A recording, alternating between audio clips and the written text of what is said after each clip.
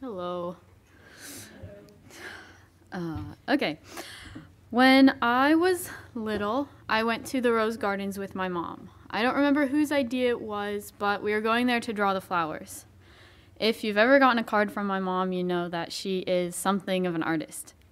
And I, being eight years old, could not match her skills. I threw a tantrum and decided that I was not cut out for drawing or creativity in general. This quickly became a part of my identity. When everyone was drawing and painting and doodling during their free time, I read a book instead because I was not a creative person. Um, when my friends were taking art in high school, I was in study hall because I was not a creative person. When everyone in my creative arts class in college made their beautiful final projects, I wrote an essay because I'm just not a creative person. You read a lot in college. I got through the mountains of pages by reading the first couple and completing my assignments from there. Maybe I should have written this about something else. Um, I've gotten used to this system. By my sophomore year, in one of my psychology classes, we had to choose 300 pages worth of books to read and complete our final paper. We had to read them and apply something we learned to our lives and reflect on that for 10 pages. We could choose books from a 10 page list or anything as long as we ran it by our professor. I didn't put too much thought into it. I chose the books based on what was available in the library. One of the books that I happened to choose was The Gifts of Imperfection by Brene Brown. The subtitle on the cover reads, Let Go of Who You Think You're Supposed to Be and Embrace Who You Are, Your Guide to a Wholehearted Life. I began to read through it a week or so before the paper was due, as per usual. This was well into my time of virtual learning in the spring of 2020, so I did most of it from my room. I highlighted and took notes because I had to, but outside of that, I didn't really think too hard about the content or implications of the reading. Three quarters or so of the way through the book, I began a chapter titled Cultivating Creativity Letting Go of Comparison. Brown refers to comparison as the stifling combination of fitting in and being better than. It is impossible to have both, yet so often I find myself in this impossible circle, striving for two mutually exclusive things. The part from this chapter that really grabbed my attention was in her summary at the end. She wrote, I'm not a very I'm not very creative doesn't work. There's no such thing as creative people and non-creative people. There are only people who use their creativity and people who don't. Unused creativity doesn't just disappear, it lives within us until it's expressed, neglected to death, or suffocated by resentment and fear. This made me stop and think. Since I was a kid, I've been living my life using creativity as little as possible. Most of the time, I tried something creative, a reaction similar to that of when I was eight years old in the park happened, except a more grown up version. I didn't cry or pout or lash out, but I would get very frustrated with myself for not being capable in this area. I do not like feeling incapable. It was easier to use the I'm not creative phrase and just never put myself in that vulnerable place and try. This was the first time I had stopped to consider an alternative. For the semester leading up to this event, I had been looking at this girl's art online and I thought it was really beautiful, but every time I thought maybe I could try that, an iron wall came down. Of course, I couldn't do that. I would look like a child or a fool if I tried. I would be disappointed with myself I'm not a creative person. However, with this chapter in mind and the requirements of my assignment, I decided to give it a go. I had a journal that I had to use for another class in the semester before, so I got it out and set to work. A couple of hours later, I had a finished piece of art and no feelings of disgust, disappointment, or frustration. In fact, I even felt a little proud of what I had produced. I was shocked. This was an entirely new combination of feelings. Still a little wary, I tried the next day, the same reaction. I tried again and again and again, sure that the feelings of frustration would come eventually, but they didn't. Some of you might be thinking, great, she likes to draw now, that's good for her, what's the point? That's okay, that's what I was thinking while I was writing this too. the point is that sometimes we are the ones getting in our own way most of all. Personally, I feel this is more often the case than not when it comes to myself. For most of my life, I deprived myself of any form of creative expression because I was afraid I wasn't good enough or worthy to participate. I took away something that has now become one of the biggest parts of my life. I was talking to Josh the other day, and he mentioned how it was really weird for him to see me maturing and becoming an actual thinking adult when he still remembers me running around as a little kid. I think this was a big part of my growing up over the last couple of years. Allowing myself to be artistically creative led to me journaling and journaling about everything. It's helped me process and understand myself better than I ever have. Through it, I've learned more about God and learned about how to express and understand my beliefs about Him. When Josh was saying this, I couldn't help but think where I would be mentally, spiritually, maturity wise if I had not allowed myself to be creative that one time. So the point, I guess, is to stop confining yourself in the non-creative box or the untalented drawer or especially the I can't. There is so much to learn about yourself and God in those places that you don't want to go. Thank you.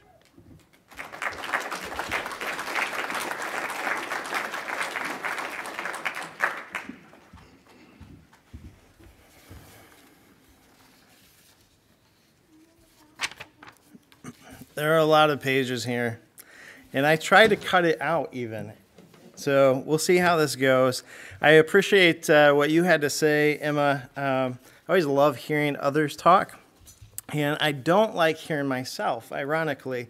Uh, that actually might surprise some of you. Um, words are something that I actually dread because uh, growing up, uh, even this last year, I actually studied uh, portions of the Old Testament uh, on your words and the seriousness of them. And all throughout the entire Old Testament, it kept um, just glaring at me how serious what we say and how serious what God says actually is. Uh, it impacts us and it impacts others in uh, so many profound ways. And one of the reasons why it impacts me so much is the fact that growing up, I was a strong willed, child who had high convictions at the same time.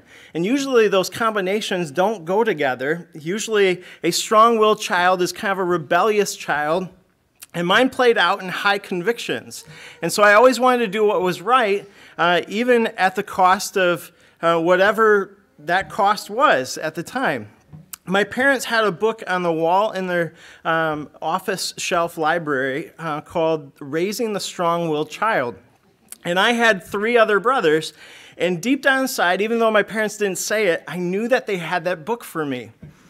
Growing up, uh, even in my senior year of high school, uh, in U.S. history class, we learned about a song uh, that we were going to sing in choir. And it seemed heretical to me after I learned about it. So naturally, I did what any senior would do, and I chose not to sing the song. You can imagine this, can't you? Have you ever been to a concert where someone in the middle of the choir didn't open their mouth the entire song? Usually that person threw up or they passed out, one of the two. Neither was going to be the case for me, though. And I wanted to be mature about it, so I went to my teacher ahead of time to share my concerns. They had said that they were a Christian. Uh, I wanted to give them a chance to convince me otherwise to change the song or to provide a way for me to get out. And the response was actually not the one that I needed. The response was, Well, you're an artist. And so you can make the song mean whatever you want it to mean. Needless to say, they had no idea who they were dealing with that a wishy washy, compromising answer would not sit well with me. In fact, their comments to dock my grade and hurt my chances at going to college would actually just spur me on to feel like this was definitely the thing I had to do. And so on the performance day, under the stage lights, when the music began to play, I stood still the whole way through the song. His veins began to boil, his eyebrows furrowed, and his tiny little mustache twitched to the side, and his eyes just locked in on me. As a high school senior, as a teenager, despite the wilting feeling inside of me, I didn't shrink on stage. I stood there straight through the entire song, respectfully trying not to draw attention to myself, yet fulfilling my convictions alone. Moments like these make me look back on my life and realize there are actually a lot of moments like these where others could probably look at the situation and say, Why are you so annoying? Or, Why are you so inspirational? One of the two. And it usually was a combination of both. Sometimes it seemed inspirational, sometimes it seemed annoying. And to myself, sometimes it was a combination of these, also asking, Why am I doing this alone? Why aren't people speaking up when they think that they should? Why do I stand here doing this, putting myself through this? Why can't others come to my side? All of us have areas of our lives, just like Emma announced, that we have tendencies to be, in some ways, extreme. Extreme quiet or extreme talking. Mine was the opposite. Mine was extreme talking. Mine was um, saying things probably in ways that I shouldn't have said or wish that I would have done differently. Ecclesiastes chapter 7, verse 18 says this it says, It warns us that the righteous and wise avoid all extremes.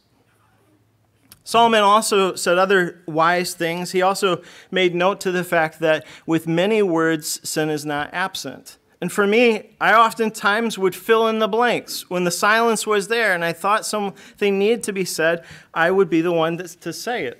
This continued even when I was a pastor. One of my very first years as a senior pastor at a small church, I was introduced to a new Christian who had been attending the, uh, the church for over a year. They had ironically become a Christian at the church, but yet was now living with a woman who was not his wife, and he was still married and no one bothered to tell him that it was wrong. He had no clue whatsoever. And so the leaders were hoping that I would confront him when I came and also disciple him at the same time. And perhaps they needed discipling uh, since they had this point of view. But why hadn't this been done sooner, or why did it have to be me? And deep down inside, even though I did say things that, uh, and did confront things and did try and fill in the spots, I often probably felt the exact same way that you feel in certain moments. Feel like you're unprepared for the moment, all alone in the moment, uh, maybe not trained for the moment, yet feel like you need to do it anyway. In some of these moments, I wondered to myself, I wish that maybe a quieter soul, maybe a gentler spirit, could rise up in my place. Oftentimes, I had a wake of destruction possibly behind me, not intentionally, but simply out of folly and ignorance. The Bible also says that folly and ignorance are destructive forces even with good intentions. And in part of my life, as I look back uh, as a strong willed child who wants to do what's right, high conviction sometimes also brought high guilt. I would sometimes apologize to my brothers or others for things uh, I really probably didn't even need to apologize for. In fact, on Christmas one year, my brother, as an adult and as a joke, uh, gave me a t shirt. He had made t shirts not only for me, but for all my brothers. Uh, and the t shirt was a phrase I'm sorry for being mean to you all my life. Please forgive me. I'm glad you're my brother. It was a joke because this is what I said to them on a regular basis growing up. Sorry for being mean to you today. I'm glad you're my brother. I felt guilty for some of the things I said, maybe slightly rude, maybe unkind. Maybe I felt like it was needed to be said in the moment. But maybe the gentleness was not there. Maybe I was not slow to speech. Uh, maybe it was not helpful. And so at night, my routine was I wanted a clean conscience before bed, so I would apologize for my sins. And my brothers would laugh about it nowadays. And to a certain degree, it was good, it was helpful, it was right to be able to speak when you need to speak. And perhaps your uh, tendency is the opposite of this. Maybe your tendency is not to speak when you should because you also feel inadequate or unprepared or don't feel like you have the right thing to say. But maybe your tone would be slightly gentler than others. Maybe you are the one that everyone is hoping for, but people like me maybe jump in a little too soon. Over the last year, God has been kind of refining me in this process even more uh, trying to have me pull back more, look for opportunities to be able to allow others a chance to speak before me. Be slower in what I have to say. Make sure that what I'm saying is actually helpful. And do exactly what uh, Ecclesiastes 5 says not be rash with your mouth or hasty in your heart to utter things before God or even men. And I think that it's appropriate around this time. I wanted to kind of end my reflection by uh, just giving an encouragement. Around this time, uh, around uh, 400 AD, there was a tiny monk who was naturally quiet. His name was Telemachus. Telemachus came from Asia and was a monk in a monastery and came all the way to Rome. This was 75 years after Nicaea. He was an obscure little Christian from the East, and he had come, uh, according to tradition, to celebrate Christmas time. And he came to uh, Rome to an amphitheater because of all the noise and all the people that were there. There were over 80,000 people probably packed into this tiny little amphitheater. And many leaders uh, had tried to abolish these games in the, in the past, but what was happening during that time was the gladiator games. It's ironic to think that during uh, years after uh, Christ, 400 years after Christ, gladiator games were still uh, taking place, even though uh, Rome was considered a Christian nation at that point. These were the same games that murdered Christians.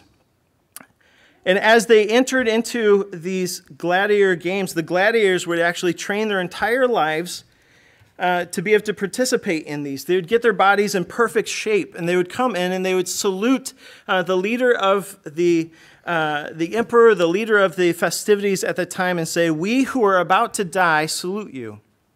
And they went and uh, died entertaining the crowds. Well, this little monk had heard about all of this, and he went in. And when he went in and saw all that was taking place, he was horrified. He was horrified to the point that as different things were happening and people were dying, he jumped over the rails and ran down into the sand and spoke up. He said, In the name of Christ, stop. In the name of Christ, stop. And as the story goes, one of the soldiers uh, looked at him as he was standing in between uh, him and another uh, gladiator and ran him through. Others stoned him. And with his dying breath, he said the last words In the name of Christ, please stop. His blood fell on the floor. He was considered a martyr from that point on, and his little tiny impact, his small little voice that he was probably not prepared to say, ended the gladiator games for the rest of history. As I look at this, I remember this story because it was told to me by another quiet soul when I was 12 years old at a church camp, and that was the very first time that I dedicated my life to Christ and his ministry. And I remember thinking about all that and thinking there have been counts, countless people throughout my life who have had great impact on me. They were quieter souls, and I appreciated them. You may have been one of those. Um, I'm sorry. I think my hope for myself as I go into this next year, and my hope for you also, is that our gentleness would be evident to all. That we would be quick to listen and slow to speak, slow to become angry.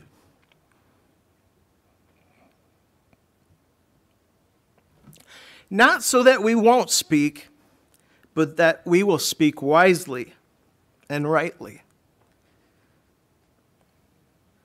My hope is that we will have gentler spirits to speak up, to have impact on those perhaps more profound than what we realize, and that will build others up according to their needs so that it may benefit those who listen. And as we do, I pray that we will rid ourselves from bitter rage, brawling, slander, among every form of malice there is because we clothe ourselves with kindness, compassion that forgives one another just as Christ forgave us. Thank you.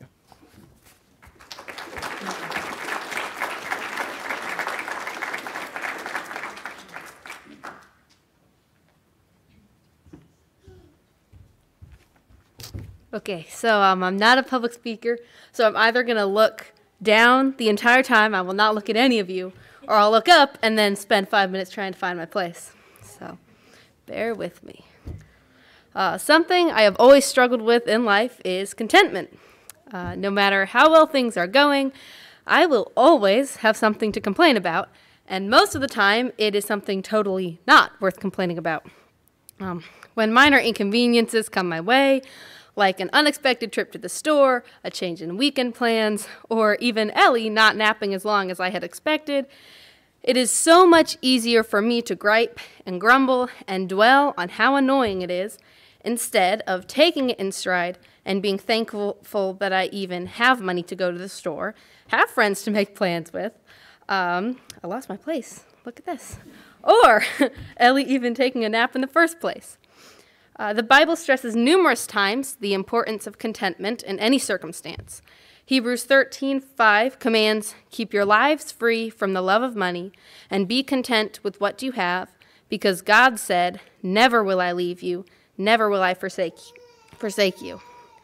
Now, this passage is talking specifically about money, but it still applies to life in general.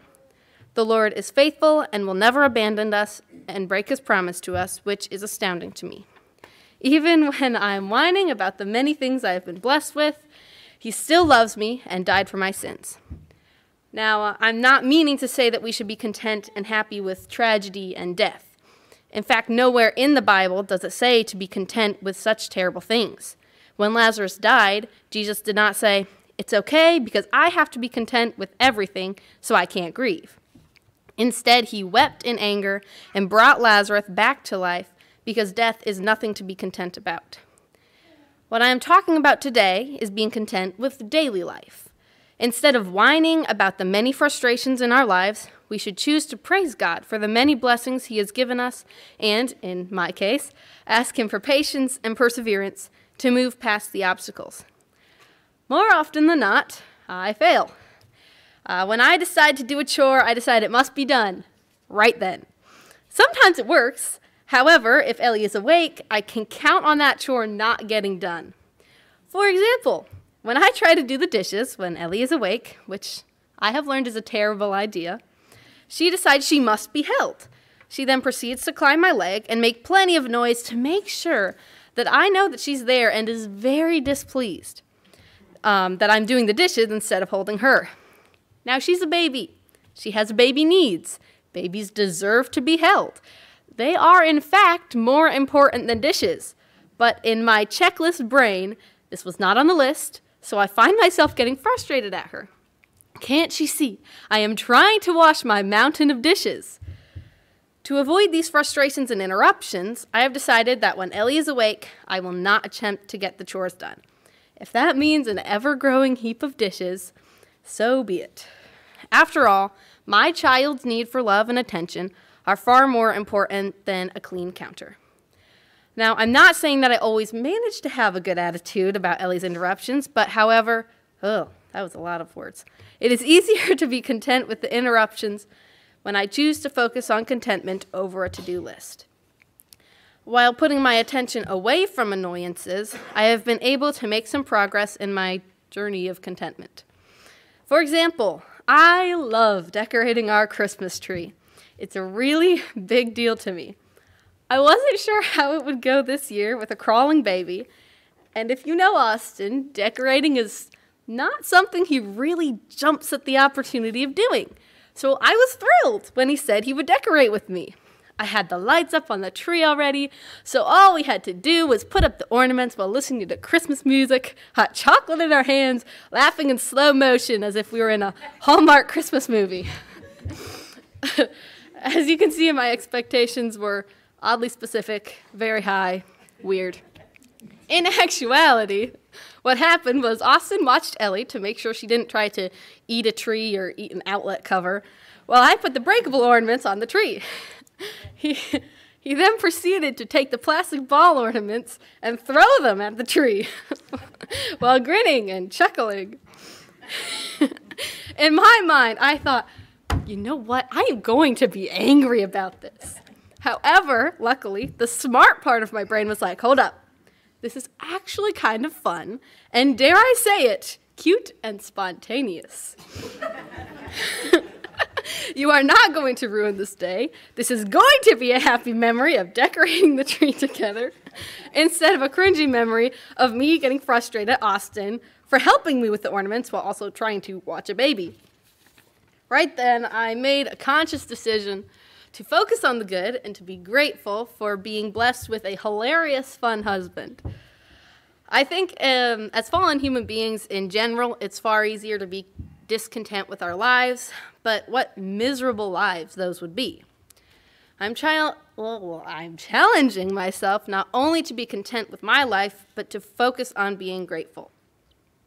1 Colossians 3 16 through 17 commands, Let the message of Christ dwell among you richly, as you teach and admonish, admonish one another with all wisdom through psalms, hymns, and songs from the Spirit, singing to God with gratitude in your hearts. And whatever you do, whether in word or deed, do it all in the name of the Lord Jesus, giving thanks to God for the giving thanks to God the Father through him. We are commanded to praise God and do everything with gratitude in our hearts, giving thanks to him continually. It is really hard to praise God with gratitude when we are griping about our lives. So I challenge everyone and my myself specifically to try to make conscious decisions to, instead of being ungrateful, praise God and give thanks to Him, and be content with the minor inconveniences that come our way. The end.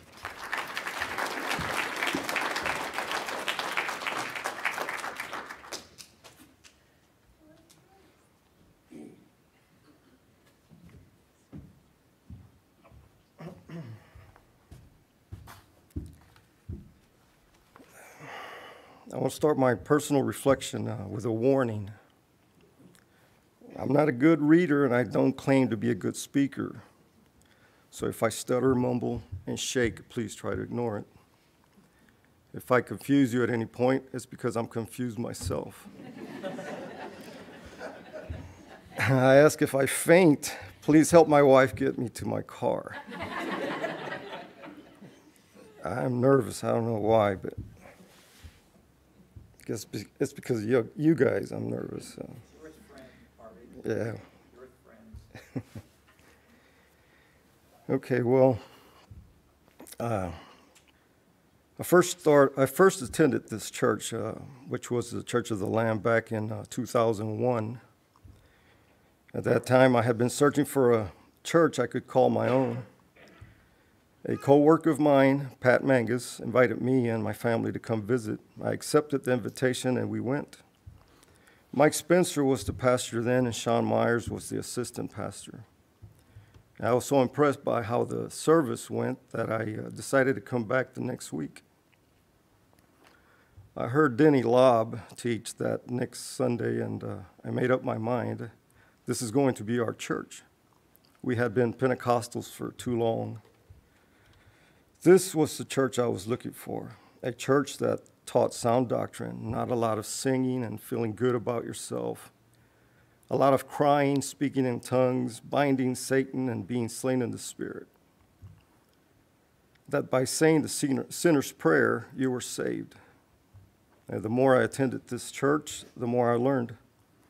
I was even impressed by the selection of praise songs and hymns.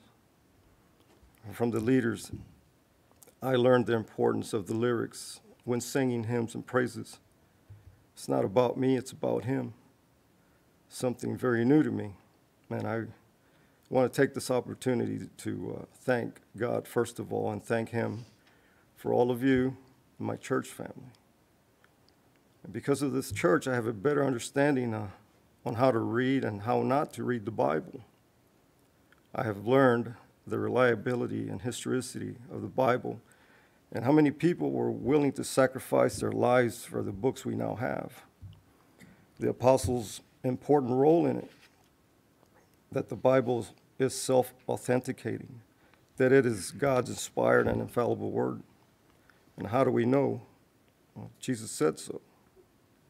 Christ testified that the Bible is from God.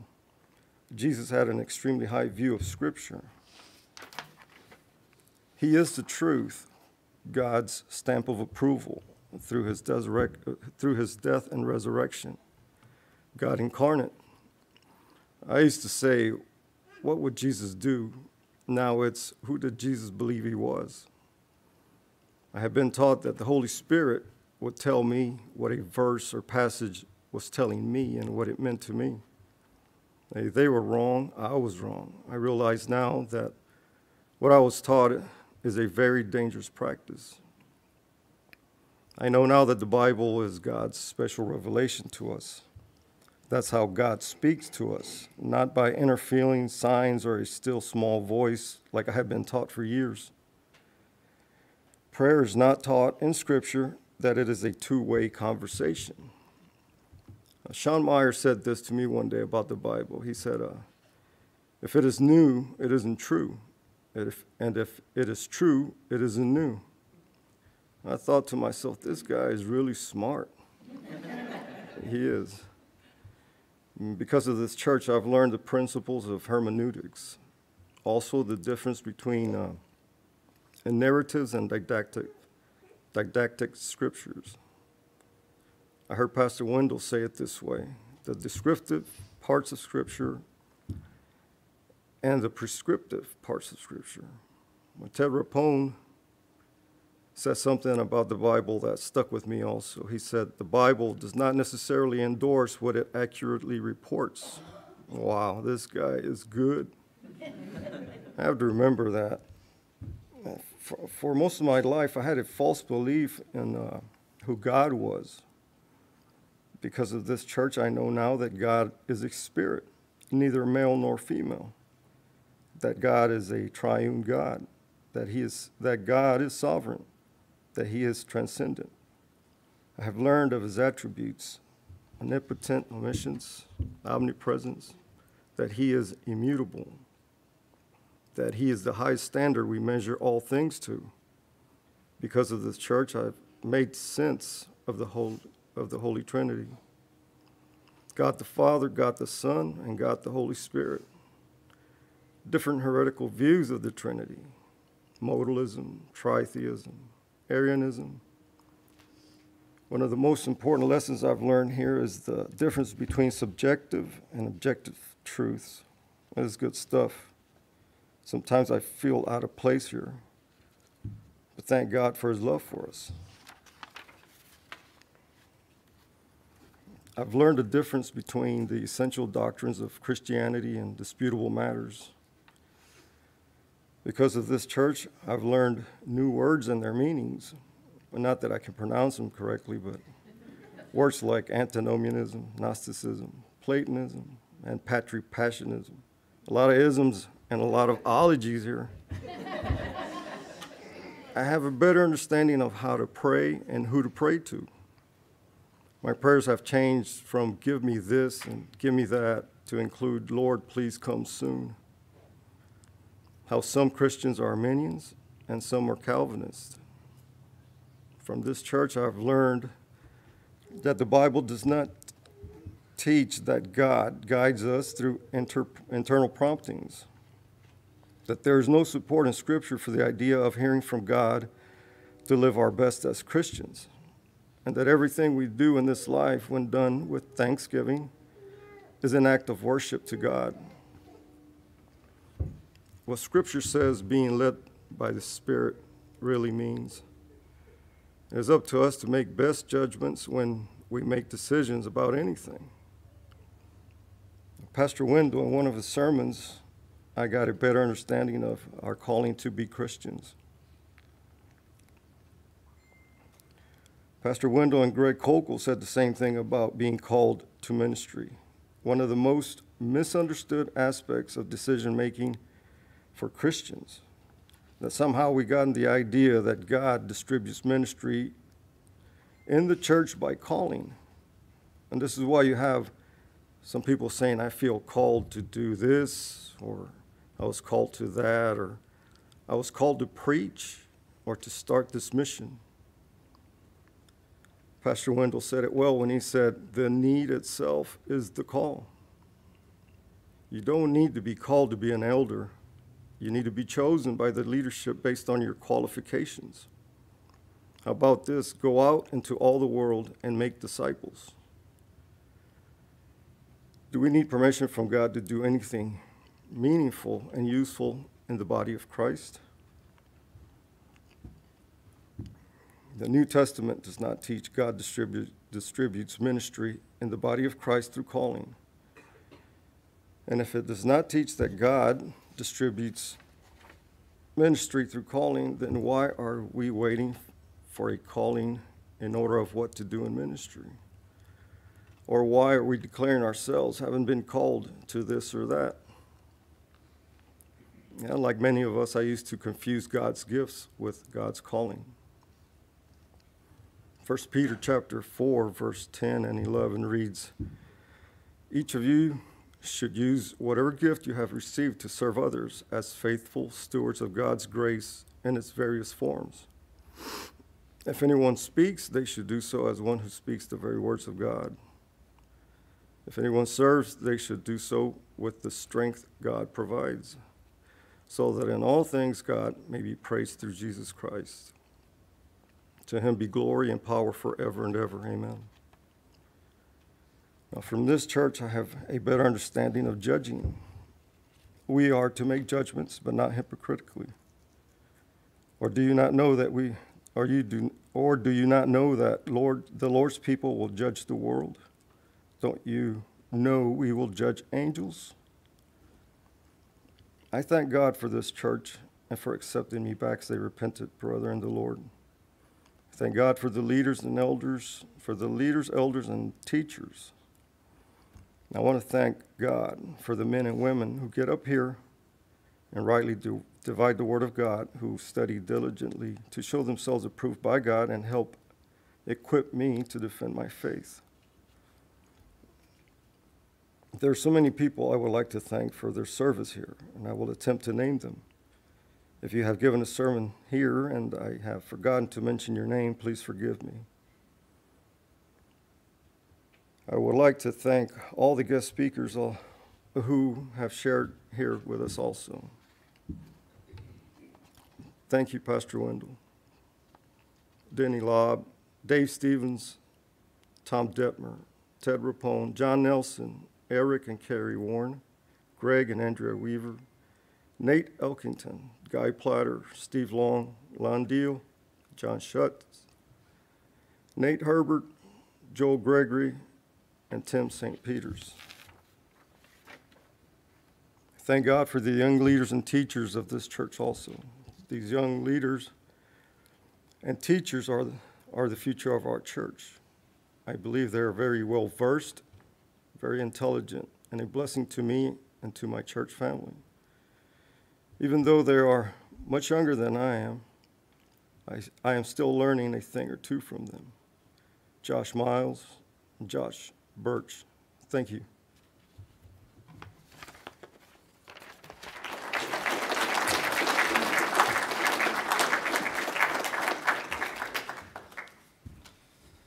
Thanks, Harvey. Is he not the calmest, nervous person you've ever seen?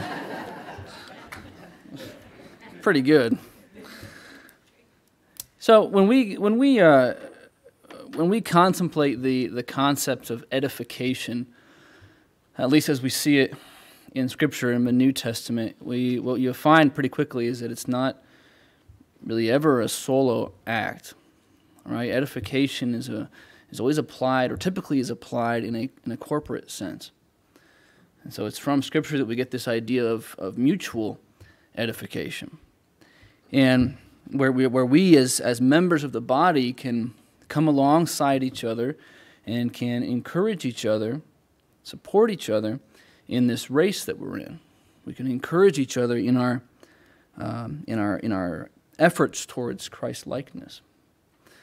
And I was just thinking about that a little bit as I listened to the four people who came up here to share and thinking about, about how much I appreciate times like this as opportunities for that mutual edification.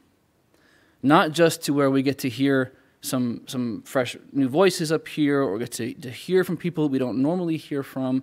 Uh, not that we, not just that we are encouraged and edified by them, but also that that after the fact, after the service, there's a chance and opportunity for us to then affirm them and encourage them and edify them. So I would challenge you guys um, to take to heart the, the things that we've learned today, appreciate the opportunity we've had to learn more about our brothers and sisters in here, uh, and approach these guys after the service and, and share with them and, and walk alongside them. Can we do that? Okay. Would you all stand with me? And I'll just read from 1 Corinthians chapter 16, verse 13. Be on your guard, stand firm in the faith, be of courage, be strong, and do everything in love. So let's go out and remember that uh, those we interact with, the people that we speak with and deal with in our day to day, we are either bringing glory to Christ's name or slandering it. So, God be with you.